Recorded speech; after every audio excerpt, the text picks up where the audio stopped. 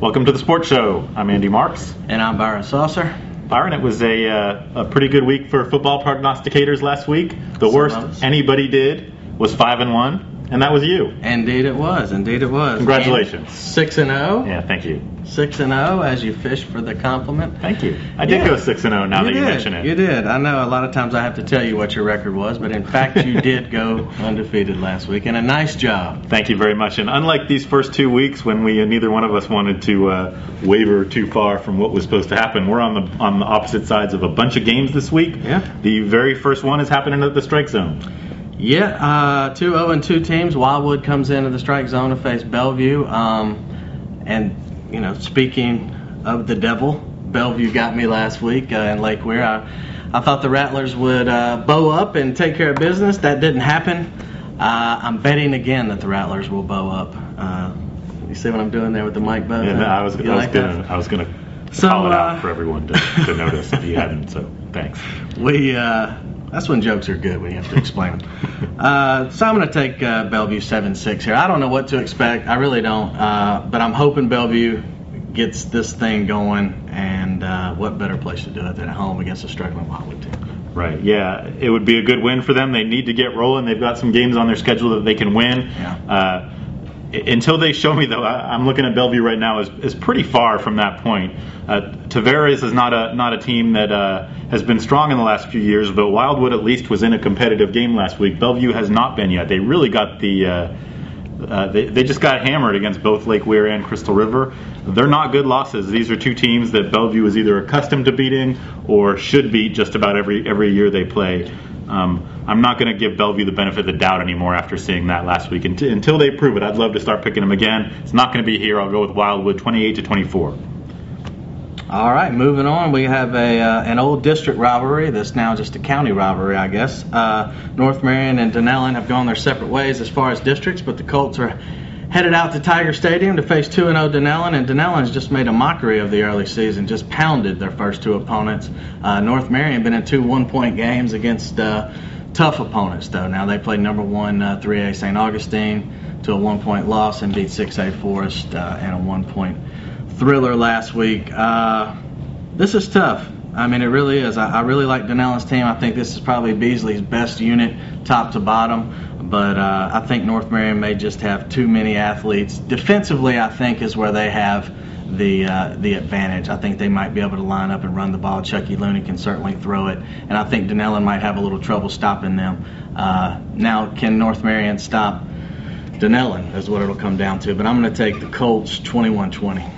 Yeah, and based on what you said, uh, I, I kind of like this game to be a shootout for, for that very reason. I've got a high score. I'm going to take the other side. It's a game that could go either way. And let me tell you something. This is a big game that I'm really excited about.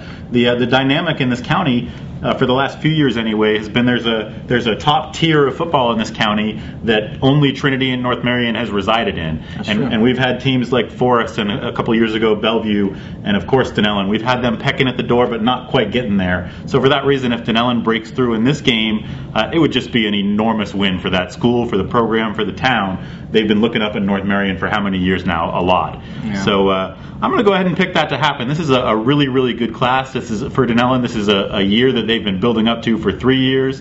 They got a fantastic group of skill players in Terrence Brooks, in uh, Angelo Cabrera, and Bubba Black, who once again is just off to the races and accumulating huge amounts of yards. I agree with you that I that I think that uh, that defensively North Marion is going to be hard to stop. I think Dunnellon's going to be hard to stop too. So I'll say 35 to 32. And this is one actually too. Uh, interjecting a little bit, Cody Underwood could be the X factor for Dunnellon. You know, in years past, North Marion could sell out to stop the run, and that's pretty much all you had to do. Uh, Beasley likes this kid. He's made some. He's been efficient. and I haven't asked him to do a lot. He'll be asked to do a little more, I think, Friday night. And some of those kids at Dunnellon that'll line up and, and go out and try and catch passes, these are kids that are athletic enough to get open against anybody. Indeed. So we have another cross county matchup Forest against Westport. Uh, it's a tough year for Westport. It is. Not a good situation over there right now, and this is probably not the week that they're going to break through and get that win that they need so badly. Yeah, no, you know, like you say, uh, Lyle Livingood came into a, a tough situation. Uh, those coaches over there are doing all they can to make up a lot of ground, uh, but I don't think this is the week. Forest, on the other hand, had a you know just a rash of early season injuries which have hurt them. Uh, a couple of close losses. I think Hodges has this group ready. This is a team they should handle. I look for James Brooks to get a little more comfortable in that quarterback role, and I, I see uh, Forest winning this one handily. Maybe not as uh, big of a blowout as you have, but I'll go 31-13. Yeah, I'm, I'm wondering where those 13 points are going to come from. Look, I don't I don't want to get into laughing at Westport because because they've they've been through the ringer and and Lyle Livingood is a good coach. He's proven that on the basketball court. He's committed to this program and he's committed to the school. And if these kids stick with him, they've got some winnable games on their schedule. Uh, Lyle didn't make the schedule, uh, it was pretty easy to look at their schedule before the season started and, and guess 0 and 4, and I, and I still think that's the way they're headed. But they got to stay with it. That's been the problem over there at Westport is that things get tough yeah. and, and, things then break down, and then by the time the next year starts, you're back at square one again. Yeah. So please, you guys out there at Westport, stay with the grind. You will get rewarded later in the year. On the other side of that coin, I'm going to go with 38 zip. Uh, I don't think it's going to be pretty over there. So let's move on. We've got a, a big game out at. Uh, at Lake Weir this week. Yeah, Vanguard's coming out to Candler. Uh, Lake Weir, who uh, I didn't think could beat Bellevue last week, is now uh, going to host Vanguard, who's been another thorn in their side uh, historically. Uh, they did beat Vanguard last year, but of course everybody beat Vanguard last year. Uh, Alex Castaneda has that team turned around. It looks like not only did they beat Westport 31 0 in week one. They played with Trinity through three quarters last week. I think it was a 17 16 game midway through the third. Uh, Kadron Boone, Gray Crow got away from a, a, little bit late, but I like Vanguard in this one. I'm going to take uh, I'm going to take the Knights 24-21. The interesting thing about this game to me is that both teams are going to come in here with some attitude. And uh, if you if you look back one year for Vanguard and you look back three years for Lake Weir, uh, there was no attitude, there was no swagger. You know, these are programs on the rise, and that's fun. It's gonna you're going out there. I think you'll have fun. That's a good game. Lake Weir uh, fans have been packing the stadium. They beat Bellevue in a way that good football teams win games. I've already said this in, in story and on the air earlier this week. But uh, they went out and stuffed it down their throats a little bit. I think Lake Weir has arrived. Um, they're used to uh, the level of competition they're at. Uh, Vanguard maybe not yet. We'll see. We'll see a few weeks from now. Maybe in fact they have arrived, and I'm not giving them enough credit. Uh, I like Lake Weir's experience playing winning football right now. I'm going to take them in a 10 point win, 24 to 14. Yeah, and then uh, you know Tracy Curry is uh, is the X factor for them. You know he really is. I mean this kid can do everything, and I, and I do look forward to seeing him Friday night. So we'll see what happens. Yeah, I, I, think best player on the field most games that Lake Weir plays this week. He's, oh, yeah. he's that good. So we got another one, uh, a couple of ranked 2B teams. Uh, Trinity Catholic headed down to Tampa Catholic. It's third year in a row for these teams to play. Uh, they've been one and one over that time. Trinity won last year. Tampa Catholic won the year before. Uh, it looks like maybe Trinity turned the corner in the second half of that game. You know, we're a little concerned about the offense. Uh, you know, the continuity there at quarterback. It looks like Gray Crow is getting a little more familiar with the playbook. They're opening things up. Kadron Boone caught three touchdowns last week. That's a good sign for them if they can get the run pass thing going. They're very difficult to defend with Kedrick Rhodes in the backfield. Um, of course, Tampa Catholic's loaded as well. Uh, they got rained out last week, so they only have the season opening win. But I like Trinity in this one. Um, they went down there and won it last year. I think they'll do the same. Uh, 27-24 Celtics. Uh, interesting matchup. Um, you know what worries me about Trinity is the defense. You've talked about this before. Yeah. They've given up too many points through the Classic and uh, and their first couple games. And so, uh, you know, I, I, think this is going to be a high-scoring affair. Tampa Catholic, I, I have to say, probably right there in, with Gainesville in terms of just the, the talent of the opposition. Yeah. They've got a, a, handful of Division One football players at the very least, yeah. upperclassmen Division One football players on their team. Um, Trinity needs to stop some people while Gray Crow is getting his feet settled there at quarterback. He's he's a, he looks the part. He's clearly talented, but he's young and he hasn't played a lot of games yet, and it's going to be a continuum for him to get there. Uh, this is a state championship game caliber matchup. Although I think Pahokee and Bolles will also have a say in the matter before the end of the year. This is a possible state championship game. Sure. And uh, I'm going to go with Tampa Catholic at home, 42 to 41 and uh, Trinity defense will have to uh, prove me wrong and hold them to less points, and then I'll pick a lesser score next week.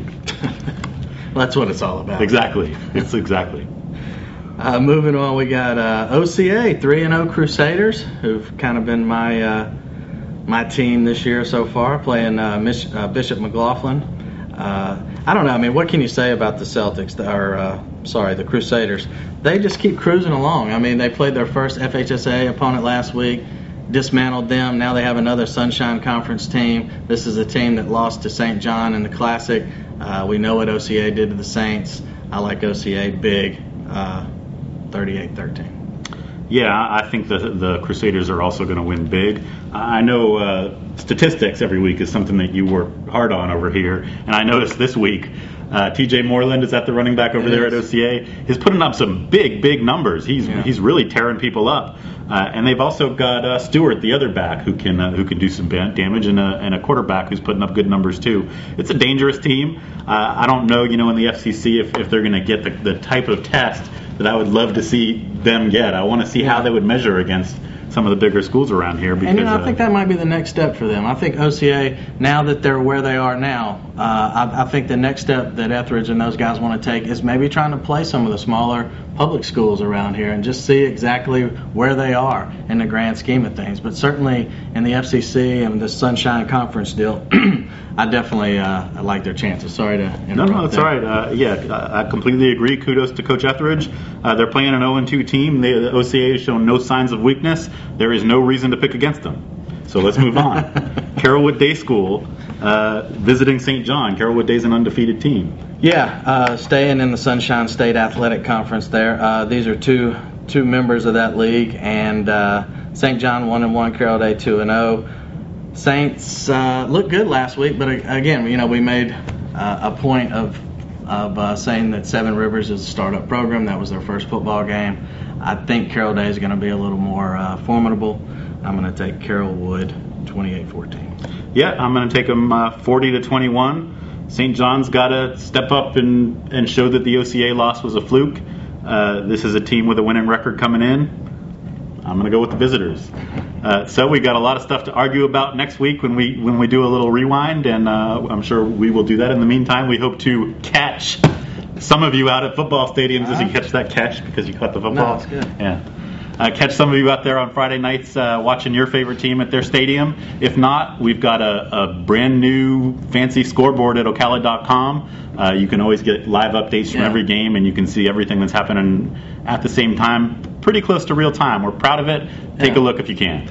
Yeah, I've actually been setting that up in the press box and uh, and following that the first couple of weeks. It's nice. It's a good way to get the uh, the scores to the PA guy and let everybody know what's going on. But yeah, if you're stuck at home, uh, log on and follow the scores. It's a good way to do it. And uh, we'll see you next week.